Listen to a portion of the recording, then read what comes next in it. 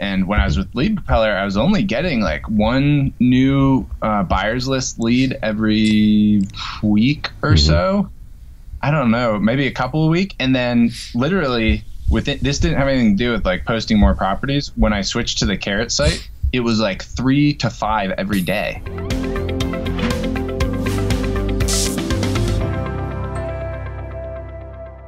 Hey guys and gals, this is Trevor with the Carrot Cast, and uh, I've got something really, really awesome and new for you. And this is this is like a Carrot Cast first. Okay, so Luke Harris, our guest today, and I'll, I'll introduce you guys to Luke. He's the first and only person who has ever, ever signed up for Carrot walking into our office here in Roseburg, Oregon, walking into our doors. And uh, it was really cool kind of talk through that story. But the reason he's on the Carrot Cast is because of what he's doing on the land side of things. And uh, just some quick little snippets. Uh, looking at his account earlier today, he's got thousands of leads in there. So we'll kind of talk about some of the things he's doing on the land side and uh, where he's living, what his business looks like now, what he's doing online to generate the, the leads, and also why he's working on land. So, uh, Luke, welcome to the Carrot Cast, man. Yeah, thanks for having me. Excited to be here. Yeah, dude. So it's kind of fun. I'd, I'd love to, before we dive into your story and stuff, I'd love to, love to kind of recap how we first connected. And Dude, how how was it? Did you reach out to me directly? I can't remember that first contact specifically. Um, so I believe I first met you. I knew about you through a number of people in Roseburg there. Mm-hmm. Um, but I came to the Young Entrepreneur Society meeting. Yep. I think that's where I met you the first time, and Yep. I didn't even actually know what Carrot was then. I was using one of your competitors, and we started talking about it, and I was like, "Oh wow, this is like exactly what I use." Yeah. Who uh, who were you using at that time? Lead Propeller. Mm-hmm.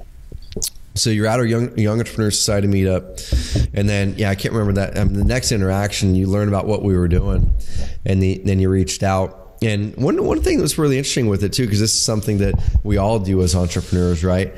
Where of course our pricing is is higher than most of our competitors. So that was something we were chatting about, and and um, I'm like, man, if if if if I can only get him to see the value in the extra performance he's going to get, the extra 50 bucks a month or whatever it is, like wouldn't even matter. So I'm going, man, what can I do? Just like proof is in the pudding kind of thing. We're going to talk about how we did that here in a bit. But uh, that's always going through my mind. I'm like, man, I know our craft. We know it better than anyone else. I'm confident about it. And then when we can like show it and prove it to people, then you really see the extra 50 or 100 bucks a month is like, it's actually costing you way more than that not to come over and work with something that's higher performing for sure. Mm-hmm. So let's kind of uh, uh, dive into your story, man. So first of all, where are you living now? Um, and also what do you do for your business? Like what, what's your primary focus? Mm-hmm. Uh, so I'm living in Virginia right now. Um, I'm actually not doing the land flipping full time. Mm-hmm. Um, I'm a forester, which uh, the reason I got into it originally is into land or real estate at all is I want to have a land base of timber properties mm-hmm. um, as like passive investment and to manage long term. So that's kind of what got me into it. Yep. Um, and the types of properties I'm doing right now are much smaller, and they're not really timber properties, but um, but I'm using it to build up capital to buy uh, some larger deals. Mm-hmm. So and and pretty much all the the land flipping's out in Oregon um, right now. So. So, dude, how how'd you originally get into land? Like, did, did you first get into real estate investing with houses, or was it mainly from the timber side? And then you're like, okay, I'm going to do smaller batches of land. Kind of where did the land start come from? Um, yeah, it was essentially. Uh, so our business is called the Farm Finders, which I think we might rebrand that. But the original idea was we're both me and my wife are into like alternative agriculture and stuff mm-hmm. like that. And of course, I'm a forester, so um, raw land made a lot of sense because it's you know everybody needs a parcel of land if you're going to farm or mm-hmm. uh, grow trees or something like that. So, um, and we had trouble, you know, being able to get land inexpensively, and so I basically just started googling, you know, how do I get cheap land and. Mm-hmm some of the there's several educators out there um, that teach you know flipping land. So a couple of those came up. I started listening to podcasts. That was probably early 2016, I think. Mm-hmm. Yeah, about a year and a half ago. Um, and then ended up buying one of the education programs and uh, diving in and getting started. So sweet. Which uh, which coach did you end up working with on that? Uh, so there's Seth Williams is Okay. who I originally started with, and Cool. then um, Land Academy I went to after that. Uh, so those are the two. Sweet, and they're they're both solid, man. Which obviously shows in the results you're getting, which is cool. So, kind of let, let's give people context right now. So, that's kind of what originally got the mindset going and got you starting in looking for this stuff. You, you dove down the education path. Uh, we're gonna we're gonna dive into how you close your first land deal here in a bit, but kind of where are you now with it? So, you're a year and a half in. Um, Kind of what type of consistency are you seeing with your land deals, and are they all in Oregon, or are you else, elsewhere too? Yeah, so at the beginning, I kind of was spread out, and we were thinking, oh, we'll do Virginia and Oregon. I'm from Virginia. My wife is from Oregon. Um, and I did a few deals like in North Carolina at the beginning, and um, I don't know, it, they didn't go quite as well, and I'm not sure exactly why, but it ended up we just decided to focus down in Oregon because that's where I think we're going to end up long term, um, and not spread ourselves too thin and try to learn different markets and stuff like that.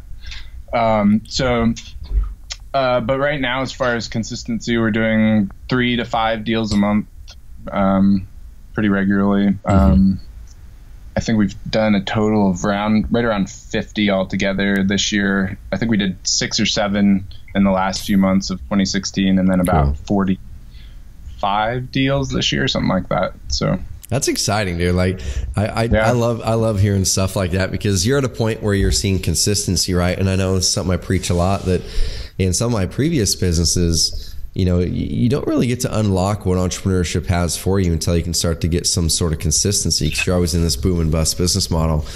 And um, you know, we all have some room to grow there, and we all have some work to, to go and add more consistency to our business model. But uh, once you can start to get every deal you're clo- or every month you're closing a deal, and then every you know two weeks or whatever it is, man, the consistency adds up. So, how'd you get the first deal done? Uh, so I started, um, like I said, or I, I can't remember what I said, but in North Carolina is where I did my first couple deals. Yep. Uh, so for lead generation, I pretty much exclusively done uh, direct mail, um, and I started mailing back tax properties first. Um, it took a while to get my first deals. I'm not sure exactly what was going wrong with my first. Um, kind of using some different principles and stuff. Now I was sending out postcards, and then I switched to like a whole offer with the price in it. And, Gotcha. uh, it seems to work better, and it's a different market too. But um, so the first deal I bought, I think it was in June or July, um, eight hundred dollars for a 0.8 acre parcel. I think it was in North Carolina. Um, took a really long time to sell. It was like HOA fees, I think might have been. I'm not sure what it was, but um, I finally sold it uh, like a year later. Oh, wow. Um, so my first couple deals really did not do very well at all. um, the second one was also in North Carolina. That one did a little bit better. I made some money on it, but it still took a long time to sell. Gotcha. Uh, and then I switched to Oregon and started using um, like a whole offer with a letter and like uh, an actual contract that they you know, people a lot of the time people just sign it and send it back, never call, never email or anything. Um, so I started doing that, and the deals just started coming in um, really consistently. Um, and so in my first six deals, uh, I did like a several of them in in Eastern Oregon. I did a couple in like Lane County. Mhm. Uh, those were really good deals. I want to start Yeah. uh, getting into that market some more, but I did the ones in Lane County were really good. I did um, some one or two acre properties. Bought one for ten, sold it for twenty. Bought one for five and sold it for eleven, and those sold like instantly, Sweet. like within a day. I, I guess it's like the demand there is so much higher than than Yeah. Eastern Oregon, but um, and the the whole marijuana thing is actually it, Oh. it turned out both of the lots were not buildable, and so I was really worried about being able to sell them. And um, but they ended up within 24 hours. I had a buyer, and I was flooded with calls after that. And it, it turns out that that zoning is like the only zoning that you can grow marijuana in. So there's a lot. Of people. Yeah. Um, so that's something I'm gonna have to probably get into some more because it seems like there's just a really hot market there. But. Dude, I love it. So I want, I want to break apart a few of those few of those things you mentioned there. So um, you originally started in North Carolina, and you, you mentioned you were using postcards at the start. I want to I want to start to switch over to Oregon now because that's when things start to get consistent for you. Um, mm-hmm. So I remember having Gary Horton on. He's one of our carrot clients in San Diego, and mm-hmm. it sounds like you you and him are using very similar methods, right? So yeah, he sends out. Yes. Yeah, and he sends out the offer, and he uses a lot of direct direct mail to get the original seller. Then we're going to talk through, you know, how you, how you sell your properties. He talked through in detail how he does his. He started to use Google pay per click about a year ago to get sellers through through Carrot now, which is working well for him. But let's kind of break apart this. So number one, how do you how do you generate the lists to find the sellers to even mail to in the first place? Yeah, um, RealQuest okay. is the, the um, and it's not back tax properties. It's just everybody. I've done a couple of things that have actually in my last few mailers that have really increased my results. Mm-hmm. I only mail people um, that don't live in the county that I'm mailing. Oh. Uh, because I after I did like 30 deals, I started looking at them and nobody was in the same county. Hmm. And when I switched to doing that, I probably doubled my return, and not nearly as many people call back and were upset about getting the offer. Mm-hmm. Um, so I think it's actually really that single thing has increased my yield quite a bit. But yeah, RealQuest is where I'm getting the data from. There's a hmm. couple other providers. They're like uh, DataTree and Title Pro 24/7 would be the other two places that I might use Dude, one thing you mentioned was really smart, and uh, I was talking with Max Maxwell. He's a wholesaler out of North Carolina. Shoot, two weeks ago, and he was talking about where after his first two deals, he kind of he said, "Man, I reverse engineered the deals. I looked at the commonalities between those, and he was like, man, both of these deals kind of similar. Like, except he was looking for houses. They were, you know." they owed they were back taxes, they were probates, they were whatever it was. Like he had like three things that his first two deals matched. So it was like, what if I just go find more of those? Mm-hmm. And so he's increased his close ratio, his profits are better. He can become an expert in that side of things. And that's that's that's smart. Uh, are there any other things you've noticed as you've gone? So you've got you're not really focused on the back tax thing. You've got mm-hmm. the for someone who doesn't live in that county. Are there any other factors that are in common you're finding with your best deals? Um, not really that I can think of off the top of my head. Um, I have pretty much focused on the lower uh, assessed value because it's hard to with land. It's hard to um, value them appropriately when you're mm. coming up with an actual contract. So um, and that's something that Land Academy teaches, and I've just stuck with it, and and it's worked pretty well. So, um, but yeah, that's really the only other thing that I scrub for. I leave pretty much. Uh, some people take out like large corporations. I pretty much leave everything in there. The mm-hmm. only thing I take out is like um, government uh, entities that own land. Gotcha. And so, as far as as far as the location, like the boundaries, you mentioned some of your best deals are in this certain county in Oregon, which is around mm-hmm. where Eugene is. For people who aren't uh, familiar with for, with Oregon very well, but are you are you focusing more outside of cities? Of course, that wasn't outside much, but are you focusing way outside of cities? Are you focusing without or around cities? Kind of, what's your strategy?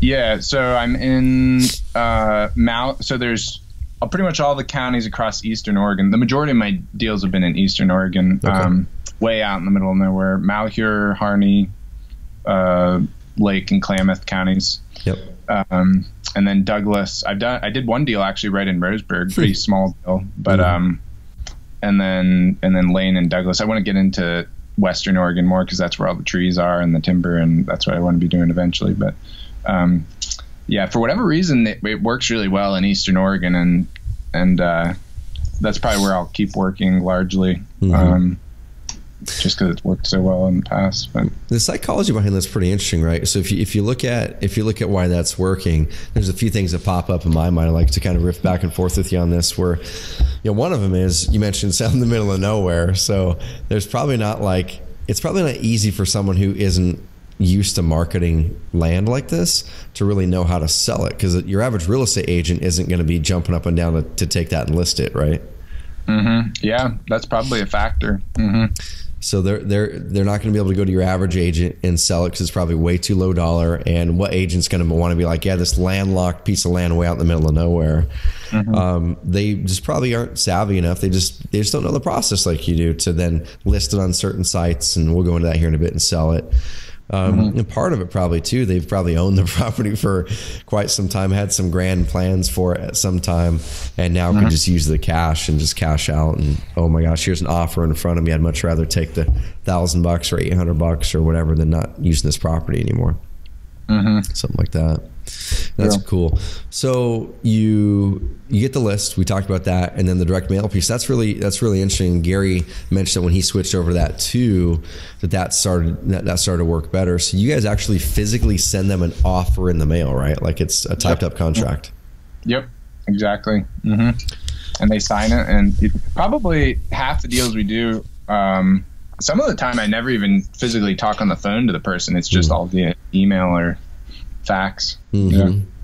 That's wild, man. Like when when you think about that, especially coming from the house side of things, right? Where everyone's mm-hmm. used to this negotiation back and forth. Do you guys have a lot of negotiation back and forth, or is it pretty much they accept the offer and you're good? Yeah, pretty much they either accept it or we're out. Typically, uh-huh. yeah. Okay. And what do you do? Like, how do you come up with your offer price? Is there any sort of formula there based off of anything? Yeah, usually when I get going in a county, I um, where I haven't done it in the past, I go to Zillow and LandWatch and find the lowest comp mm. uh, for that property size, and then I divide it by four. Okay. And that's what I offer. Um, and then um, after I do a few deals, then you kind of get a feel for what works and what doesn't, and what you can sell them for, and mm-hmm. um, and then a lot of times I end up adjusting down, honestly. Mm-hmm. Um, but that that's kind of the, the general formula I use anyway. Cool. So you use those couple sites, Zillow and LandWatch, find the, the, the most recent comps, take that, mm-hmm. the lowest one, divide it by four, and then that way you know mm-hmm. you're going in with a strong a strong offer. And if you win it, then uh, mm-hmm. then you're dialed in. What what kind of response rates are you getting? You send out 100 direct mail pieces. You know, what, what on average do you get back as far as win? Uh, usually, I think my numbers on the more recent mailers have been like one sold property per like 250 uh, offers that I send out. Okay. Okay. So. And just working through some of the numbers. I, I love the number side of it because then you can really like put legs to it, right? Once you once you kind of work the math side, you can go, okay, how do I scale yeah. this scale this puppy up? And uh-huh. listen to this podcast you did on that, and that yeah. Yeah, dude, it, it unlocks things so much because I know oftentimes we kind of, and I do this too, where you kind of use emotion to, to kind of figure out your marketing stuff, or maybe you just, you're not even using emotion, you just don't know your numbers well enough to then be confident to scale up. Mm-hmm. Um, so one closed contract, it sounds like per 250 offers that you send out. Um, how much does it cost you per mailing piece to send out? So your total cost for 250. Um, about 50 cents, give or take a few cents, depending on how many I send out. Um, But yeah, about 50 cents. Okay. So we're talking, you know, 150 bucks, you know, roundabout, right around there, 125, 150 bucks. Mm-hmm. Um, and then what's your average profit per deal right now? Um, it's varied a lot. Like my best deal, I made 10 grand on. Um, one or two, like the North Carolina one, I've lost money on. Mm-hmm. Uh, my total cost to do a deal with a good good deal of buffer, including like paying VAs and, yeah. and stuff, everything that's associated with that property, specifically not fixed costs, is mm-hmm. usually about five hundred dollars. So I I try to make at least thousand dollars on a deal. Okay. Uh, and that's pretty consistent. And then uh, a lot of them I make you know, one to four thousand per deal is pretty average. Sweet. So that so that that right there makes it pretty cool because you can work those numbers back and see what you how you can ramp up on the pay, pay per click side of things. So you can ramp up on the direct mail side of things and and mm-hmm. go from there, which is cool. So you send those out. You start to get some people just mailing the contract back to you, sign it, which is like crazy sounding to me, yeah. which is so awesome. Like I'm trying to think of the psychology on the seller side of things where they get this contract and without even talking to someone, they sign yeah. it and send it back there's no there's usually no emotional connection whatsoever i think is the deal and a lot of times they've inherited it they've never visited it in their life and they're like they don't really care like if someone's trying to scam them or not probably they just don't uh-huh. want to think about it. I think that's kind of what's going on. But yeah, I gotcha. Uh, and the cool thing is, man, like. Uh, and it's something I always, I'm always really passionate about getting people to lock into, you know, the service and, the, and like the, the, the value that we're providing in our businesses. And with that, like, can you imagine that person's got a piece of land, they are getting no value from it right now and someone magically out of thin air sends them something and says hey this thing that's either been a burden or you haven't been thinking about i'm going to pay you money for this thing like right now and you didn't have to do anything to do that. Like that's so cool and such a high value and you never know what that extra 800 bucks or 500 bucks or 2000 or 10,000 whatever it is is going to do mm-hmm. for them in that moment. And that's i think it's sweet dude. That's awesome Mm-hmm. I love it. Okay, so now you acquire the property and just talk about the mechanics of that side of things just for some people who may be used to the home seller side. So, how does the property actually get get over to you ownership wise when someone sent that back? Yeah, so they send it back, we do our due diligence, um, and then to actually close the deal, most of the time we end up talking to them on the phone, but to close the deal, we get a uh, mobile notary mm-hmm. and we send them uh, the new deed and they and the check uh, mm-hmm. for the property, and they meet with the seller and notarize the deed, hand the um, the seller the check, and send us the deed, and that's it. So it's cool. a really simple closing process. We do use title companies sometimes on larger deals or if there's title problems, but mm-hmm. um, probably 70 to 80 percent of the deals we just do that way. Cool. So you just go find a mobile, mobile notary, get the, the deed and the check lined up, get it to them. They process mm-hmm. it, make sure all set, and get you guys a check and get you guys a deed, or get them the check and the deed. Mm-hmm. Sweet. Okay. So now you got the property, you own this property. You're buying, you know, like you're mentioned, four, five, six, seven a month or so. Um, mm-hmm. What do you then do with the property? How do you sell it? Um, so I, at the beginning, so I was using uh, talk about some of the value of Carrot here, I was using Lead Propeller, um, and I list all the properties on my website. I list them all on a list of websites, Zillow, LandWatch, um, and and that all drives tra- traffic back to my website. Um, and I have a buyers list. And when I was with Lead Propeller, I was only getting like one new uh, buyers list lead every week or mm-hmm. so. I don't know, maybe a couple a week, and then literally with it, this didn't have anything to do with like posting more properties. When I switched to the Carrot site, it was like three to five every day. and I don't know what it was, what you guys are doing, but yeah, it was um, pretty dramatic, like uh, difference. But um, so building my buyers list has turned into something that's really valuable because there's been probably five properties where I send it out to my, I email it out to my buyers list, uh-huh. and within 24 hours, someone will buy the property. Dude, that's um, sweet and the sale is very easy too because I just uh, they buy it online. They click a button, I create the deed and mail it to them. So, um, are you doing like a PayPal link or something like that? Uh, MoonClerk is what I'm using right now. Okay. Yeah, it's similar to PayPal. Mm-hmm. Cool.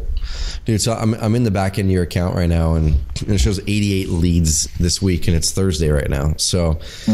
Uh, 88 leads this past week. Now, some of those are step one and step two, probably. So, in total, new leads, whatever that is, I don't know, probably 60 or 70 or something like that. Um, but a lot of them are from cell phones. So 57% of those people came through in their cell phones, which that's that's a pretty high percentage. You know, like if you're talking about house sellers or house buyers, usually that's in the 40s, maybe low 50s, 30%. So it looks like a lot of people are on their cell phones searching for properties um, and mm-hmm. on your site, or they went to Craigslist, or we will talk about where you're posting these here in a second. But let me kind of unpack uh, a little bit here. And this, I'm gonna, I'm just gonna be straight up like this semi selfish reasons, but like something I'm really really proud of too, is uh, mm-hmm. is on that switch, right? So this is something I learned years ago. Is one of the big lever points in our businesses is performance. Is when we can pull some levers that increase the amount of results you get with the same input, then it really can dramatically increase your output. And uh, the problem is so many people are always only focused on increasing more input, increasing more input, meaning like traffic, traffic, traffic. And one thing I've always, I've always focused on is like, what are those things that I can do on that website to build credibility, to hone in the conversion process, to truly understand at a psychology level what it takes to meet that prospect in their mind where they are, guide them in the process that, that they know that you're the one to work with, and then technically put put together a website that that streamlines the flow of getting them in as a lead. And so you saw I mean, I don't know what that percentage would be, but it sounds like in the thousands of percents of improvement on on results. Mm-hmm. Um, what would you say that that's kind of meant for your business? And also, this follow up question to that is, when you originally and, and I originally started talking, I know there was some skepticism about like possibly could it really produce that much more results. Mm-hmm. Talk about that a little bit, and then kind of what you saw after, you know. Yeah. Um, so as far as what I feel like it, it is going to mean for the business, um, I mean, there's kind of two sides of it. There's my building my buyers list, and then there's mm-hmm. getting leads, uh, which I haven't really dive dove into much. I have closed a, le- a deal um, through just an organic Google search on my um, buyer site where people submit properties, but mm-hmm. um, but uh, I mean, having that buyers list, I didn't really realize it at the beginning. It, I just kind of did it because it was on the website, and I wanted to have a website to post my properties on. Mm-hmm. But it's turning out that it's it's an incredibly valuable resource, and having it just grow like that without me having to do anything, I think can can really uh, be big in the future. Um, mm-hmm. And what was the other part of your question? It's kind of the skepticism, right? Because this is something that a lot of people will come to us where they see people like you on a podcast or they see people ranked well and talking about how Carrot works well, but they also see something that kind of looks similar, whether it's someone created their custom site or a competitor of ours like like you were on. It kind of looks similar because they're trying to kind of emulate some things, but the performance isn't there. Like, so mm-hmm. what what was your mindset on like? Were you skeptical first of all that just making the change could increase your leads and then mm-hmm. um, what was going through your mind before you made the decision and then after you started working with us yeah so essentially i was we had a certain amount of money to like build the business but i was mm-hmm. really trying to pinch pennies and so even a $50 a month increase was something I really didn't want to have to do yep. unless I was going to get a result. And honestly, mm, I mean, you were local, so that was kind of a big thing. But yeah. I may not have done it if you hadn't have, you know, uh, given me a deal. Yeah, um, but, exactly. Um, but uh, you know, obviously, so basically, I was trying to pinch pennies, and it turned out that I probably should have done it.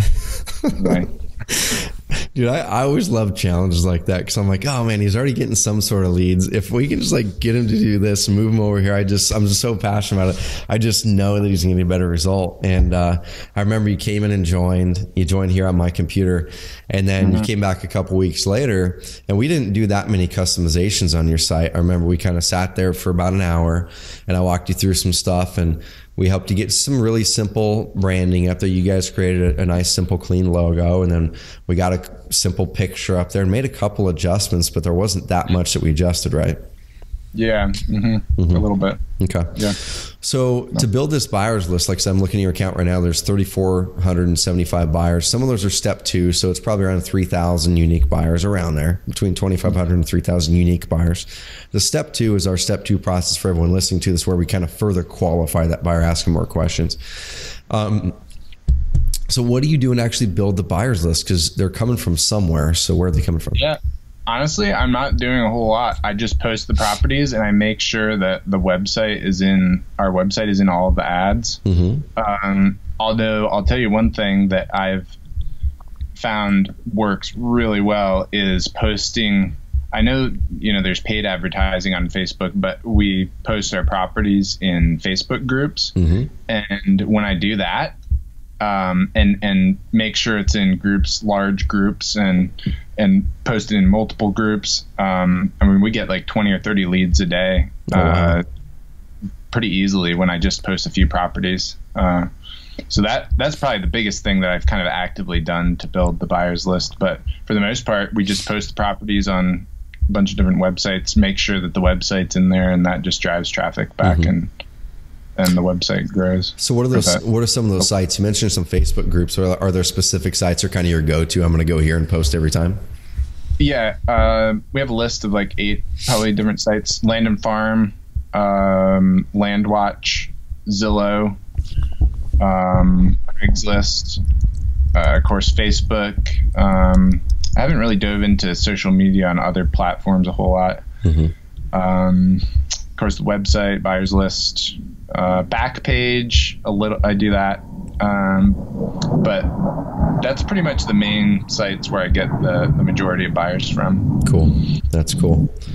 I love it, dude. Like I'm just kind of bouncing around the back end and we start looking at some stuff. So you you you make some really good. I mean, they're simple but really good listings, property listings on your Carrot site. I'm looking at one right now. It's 15 acres in Malheur County for hundred bucks down. Um, you sold it for 2,900, uh, almost three grand. Do you remember kind of some of the scenario around that one about what you buy it for? You know, Mm-hmm. um, kind of walk through that one if you wouldn't mind.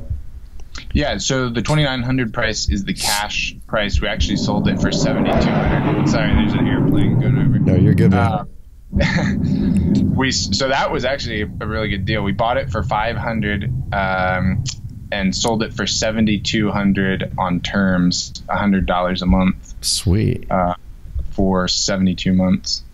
So 100 bucks down. So what what happens in that scenario is if you, if you sell it and let's say you know 14 months in they stop paying. Have you had a scenario where someone has done that yet? Mm-hmm. Uh, it was actually a Lane County property. Um, they essentially made the down payment, which was really small. I think it was even smaller than a. Um, it was just like doc fees and stuff. And then they never made any payments. Period. And it went on for like five or six months. And um, and I got all the the paperwork to send them certified mail to foreclose on it. It's a land contract, so the deed stays in our name at the county. Um, and then um, I think it's actually 30 days is is how long uh, if they don't pay for 30 days then we can foreclose on it so uh, yeah I just send them a series of letters that um, you know notifies them that they need their payments or we take it back with you know at X date Gotcha, gotcha, dude. This this this is cool stuff. I, I I could talk for hours about this and about your entrepreneurial journey and stuff like that. And um, man, the stuff you've been laying out here is the cool thing is it's it's simple, right? I mean, it's not like this isn't rocket science. It's you've got a formula, you're implementing it. Um, uh, man, it's so awesome that you're willing to share that with people. Now, the next thing is people actually have to go out there and execute, which uh, which is kind of what separates the people who are making it happen versus who aren't. What's what's next for you guys, man? I know you're going to keep on churning some deals here. Kind of what, what's your what's your ultimate aspiration with this business or just entrepreneurship in general? Yeah, so my goal is to have six thousand dollars of terms uh, money coming in every month. Uh, once we have that, I'll probably largely stop doing my forestry consulting work and just focus on the land business. And uh, long term, uh, like I said, I want to do timber deals. So um, that would be essentially buying uh, properties at a discounted price using the methods that I'm using, and then uh, either keep keeping them long term as a passive uh, income investment, um, or maybe flipping some of them. Um, so you know, I, I just read uh, Jack Bosch's book, and I love the interview you did with him. But uh, essentially, I want to do kind of what he talks about with timber properties, and have you know my you know all of our income covered with passive income, but from timber properties, which is probably a little bit challenging because it's kind of a a boomer bust thing where you, you you do a timber harvest and it's a bunch of money, and then you know it's a long time before you get another one. But that's that's really our, our long term goal is to have a large um large timber property that we live on and do uh, sustainable forestry on it and and have passive income from timber investments. I love it, man. I love it, dude. So, so when you guys, you guys are going to be back here in the next couple weeks for Christmas, and then you have some sort of a timeline when you when you might head back out to the West Coast uh, to live, or what's what's your plan? Probably two or three years, something like that. Uh, we don't have like a specific date. I imagine it'll be a, a decent amount of back and forth. Um, uh, we're gonna buy a property out there and and build a house on it is kind of our plan. Um, so yeah, probably a couple years. Awesome, man.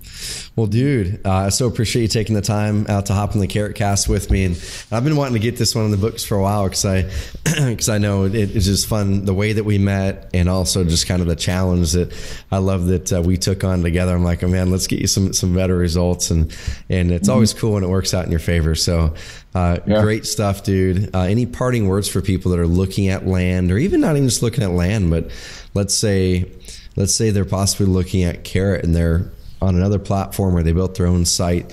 Is there any advice you, would give to someone in those scenarios? Um, I don't know. It's worth the the extra money to go to Carrot. Mm-hmm. Definitely. Mm-hmm. Um, yeah. Mm-hmm. Sweet. Well, cool, dude. Uh, everyone, make sure you listen to this episode and then go back and listen to the episode with Gary Horton as well. Um, I think he was in the first 30 episodes or so, and he's also doing a very similar model to Luke, just in different states. I think he's in Texas, Arizona, California, hasn't branched up into Oregon uh, yet. But uh, just go listen to both those because in the market that we're in, there's lots of options that people can people can dive into and really provide value uh, for in the real estate market. And this is one one part of the market that honestly a lot of people aren't looking at. And there's just tons and tons and tons of these properties around. I've got a friend, Joe McCall, that he's got a good part of his business doing this right now in Colorado and some other states. So that's the thing. There's just so much of this property all around that if you kind of find your farm area, no pun intended, but find your farm area, get to know it, and then just really start to go after and tackle it and, and help to get these properties out of people's hands that aren't getting value for them and getting people's hands who, who are going to use them. So, Luke, keep crushing it, man. Uh, if you need any help, let us know. Looking forward to seeing you uh, sometime when you're out here. And uh, everyone, subscribe to the podcast, subscribe to the Carrot Cast, give us a rating and review if you enjoyed this episode. And uh, if you're looking to buy some land in Oregon, head over to thefarmfinders.com, get on Luke's list, and buy up his land for sure. He'll, he'll have some for you. Thanks, Luke. Appreciate it, man. Yep. Thanks for having me. For sure, dude. All right. See, see y'all. Have a good week.